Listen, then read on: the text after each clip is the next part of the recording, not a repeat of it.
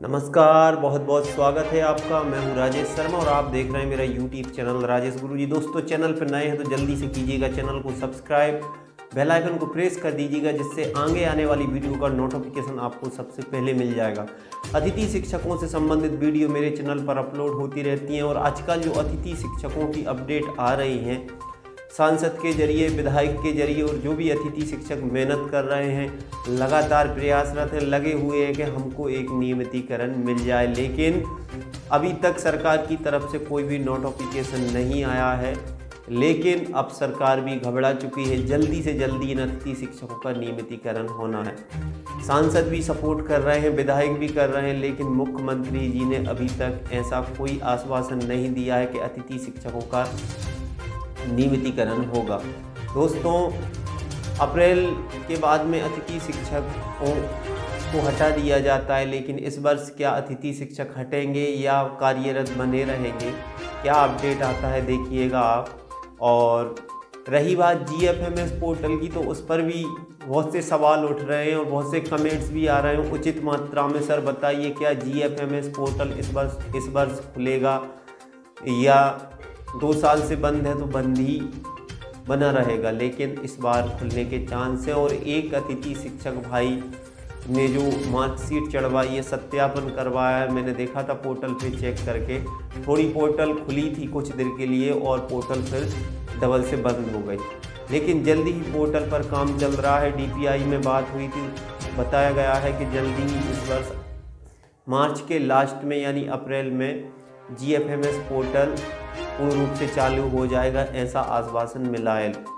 दोस्तों, इसके बाद में मैं आपको बता दूँ कि जो शिक्षक पात्रता परीक्षा वर्ग तीन की जो वैकेंसी है, पाँच हज़ार वैकेंसी बताई जा रही है, लेकिन उनमें कुछ बढ़ोतरी की जानी चाहिए। अगर उनमें शिक्षकों जो शिक्षक बनना चाहते हैं, उनके लिए कुछ पद बढ़ाए जाएँ। यह मांग भी सरकार द्वारा की जा रही है, क्योंकि एक हज़ार अनुकंपा नियुक्ति वाले भी उसी जगह में से होंगे, बाकी चार हज़ार जगह बची तो इक्यावन ज़िले मध्य प्रदेश में हैं और अदर स्टेट के भी फॉर्म फ़ीड हुए हैं। बारह से तेरह लाख फॉर्म टोटल डल चुके हैं। तो ऐसी स्थिति में जगह की मात्रा बहुत कम हो जाती है तो मैं भी यही कहना चाहूँगा कि आप सभी अतिथि शिक्षक भाई, मांग करते रहें कि पदों की संख्या बढ़नी चाहिए। और मुझे लग रहा है कि वर्ग तीन में कम से कम पंद्रह हज़ार पद होना चाहिए, जिससे सभी को मौका मिले। और जो अतिथि शिक्षक हैं, जो शिक्षक पात्रता परीक्षा पास है, उनको, उन, उनके लिए भी कुछ बेनिफिट होना चाहिए। 25 परसेंट आरक्षण तो है, लेकिन 25 परसेंट आरक्षण के बाद भी जो सीटें अतिथि शिक्षकों की हैं, उनमें अतिथि शिक्षक नियमित हो जाएँगे तो बहुत कम जगह हैं इनमें, हमारे बहुत से अतिथि शिक्षक भाई रह भी जाएँगे। और एक अपडेट जो आया हुआ है वो मैं आपको बताऊँगा दोस्तों। चार पाँच छः आठ दिन से मेरे चैनल पर वीडियो अपलोड नहीं हो पा रही हैं, क्योंकि स्वास्थ्य ठीक ना होने के कारण मैं वीडियो अपलोड नहीं हो, नहीं कर पा रहा हूँ।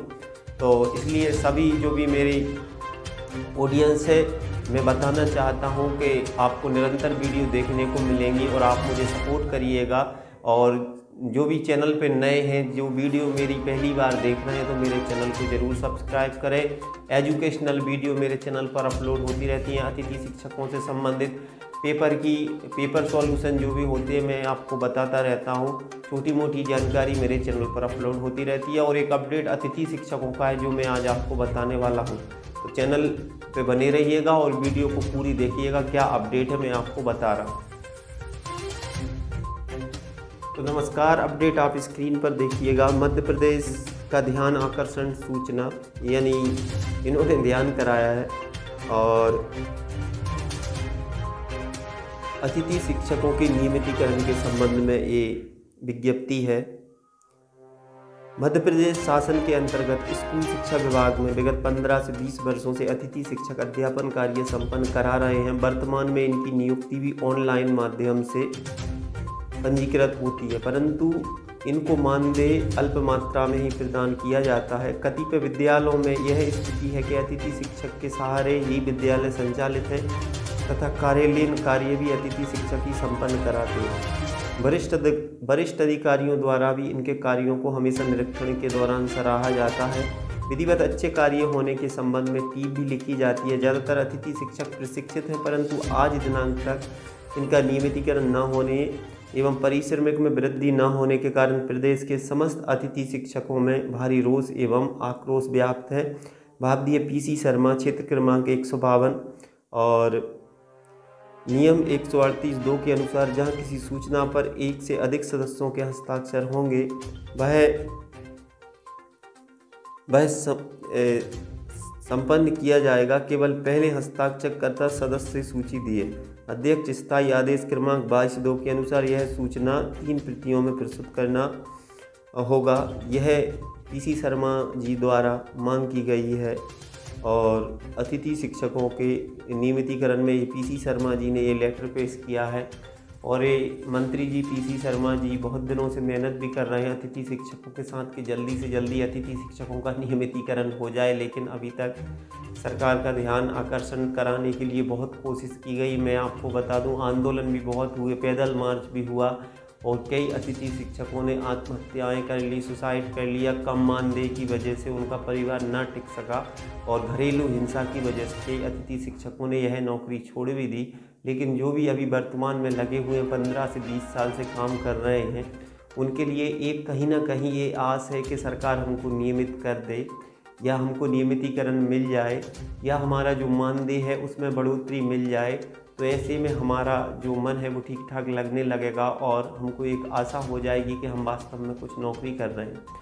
और देखते हैं अतिथि शिक्षक नियमित होते हैं या नहीं होते हैं, लेकिन अतिथि शिक्षकों का नियमितकरण, नियमितीकरण होना स्वाभाविक है, क्योंकि ये नियमितीकरण ज़रूर होगा और ज़रूर अतिथि शिक्षक नियमित होंगे। और जो भी अतिथि शिक्षक भाई कुछ पूछना चाहते हैं तो आप मुझे कमेंट्स के माध्यम से मुझसे बात भी कर सकते हैं। नई नई वीडियो अपलोड मैं करता रहता हूँ और आपको कोई परेशानी है बहुत से अतिथि शिक्षक भाइयों की फीडिंग भी नहीं हुई है तो वो भी बता रहे थे, सर, बताइए, जल्दी से जल्दी G F M S portal खुल जाए तो हमारी फीडिंग हो जाए। तो मैं उनसे यही कहना चाहूँगा कि थोड़ा आप एक साल से इंतज़ार कर रहे हैं, थोड़ा और इंतज़ार कीजिएगा। एक अतिथि शिक्षक भाई तो यह बोल रहे थे, सर, आपने एक साल से पोर्टल नहीं खुलवा पाए। आप यही बोल रहे हैं, खुलेगी, लेकिन ज़रूर खुलेगी। हर चीज़ का समय आता है और जब समय आएगा तो हम नियमित भी होंगे, हमको अच्छा मानदेय अच्छा वेतन भी मिलेगा। और बच्चों के पेपर आने वाले हैं, पाँचवीं और आठवीं का भी टाइम टेबल आ चुका है। नेक्स्ट वीडियो में मैं आपको बताऊँगा कि जो प्रश्न बैंक होती हैं, वो भी पाँचवीं से लेके आठवीं की जो प्रश्न बैंक आ चुकी हैं, वो भी आप ख़रीद लें। उनमें जो सिलेबस है, वो आपको आधे से आधा कर दिया जाता है। इससे पढ़ाई में कुछ भी कठिनाई नहीं होती।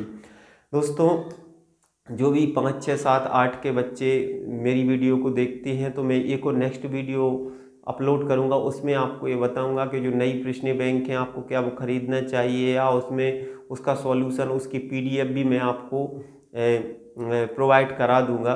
तो आज की वीडियो में बस इतना ही, मिलती है एक और नेक्स्ट वीडियो के साथ।